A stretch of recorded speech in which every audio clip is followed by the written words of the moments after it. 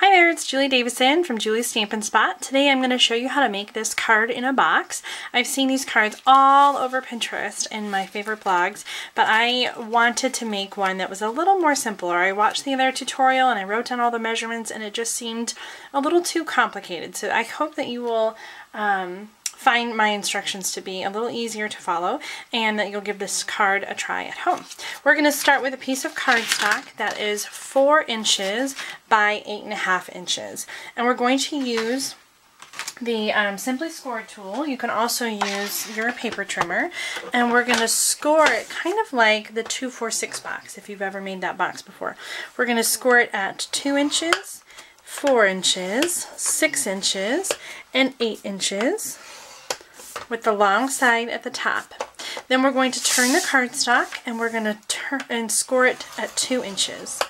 So what we have is a grid with two inch squares. And then at the very end, we have this smaller half inch score line. So we're going to cut on the bottom score lines up to the center, perpendicular score line.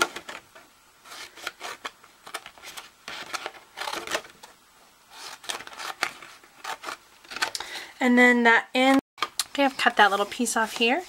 And then I'm going to um, turn it around. This piece you're going to keep flat. You're going to put um, another piece of cardstock there. That's going to be the back of the card. And the other pieces you're going to fold down towards you. So here is the same thing. I guess it's just a mirror image there. And I put a little bit of sticky strip on that tab. Here's the piece of cardstock. It is one and three quarter inch wide by three and three quarter inch tall. And then the squares to go inside here. This is the Retro Fresh Designer Series paper. It's one and three quarter inch by one and three quarter inch. Same with the So Saffron square here. So I've got um, the greeting in the middle. That's going to be the front and then the two sides. And then on the back I have um, the same designer paper. Okay, so we're going to just fold on the score lines here on the side and put our box card together. Okay. And we're just going to fold fold that over. So when it's closed, it is a 4 by 4 card. And the back is where you're going to write your message. So they'll open it up and they'll see that and then you can write on the back there. Okay, so here is the, the shell of our box. Now we're going to use two pieces to, to put the things on the inside. So these are um, three quarter inch by two and a half inches and I scored at one quarter inch from each side and then you're going to fold them in opposite directions like that. So I've done that with both pieces and I put sticky strip on the outside of those two little flaps and we're going to put these inside the middle of the box and this is what we're going to attach the cupcakes to.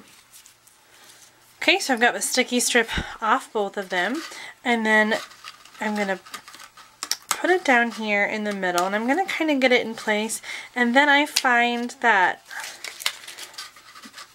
folding it kind of helps to secure it where it needs to go. So kind of just get it into place and then, oops, kind of a little, you fold it and kind of get a good grip on it there, okay? And this one is going to go same direction with the up and down of the side pieces. Kind of get it into place and then fold it and get a good, nice, good crease on there. Okay, so those are the inside, and they don't go all the way down. Like I said, they're only three quarter inch wide. And then here are the pieces that I've cut. I used the um, Cupcake Builder Punch. So I've got two Tangerine Tango and two So Saffron cupcake bases and then two chocolate and two vanilla um, frostings. And I used the um, little confetti or the sprinkles from the Create a Cupcake stamp set. So that's where I got that one from. Here's a little tip on um, adhering these together. I used my um, Stampin' Dimensionals uh, paper because the extra adhesive won't stick to it. So I'm only doing like half a half a row of adhesive on there and then sticking the cupcake frosting on. Alright, very well. So now we have the front and I'm going to put adhesive on the bottom of the cupcakes and the, this is going to go here in the front and I'm adhering it inside the card on that little thing. And then for the the ones in the back I want them to stand up a little bit. So I'm using a bit of um, scrap paper. I just cut this um, from some leftover there so I'm, I'm going to put the cupcakes on one end and then I will adhere them to the back of that inside flap to kind of give it a little height.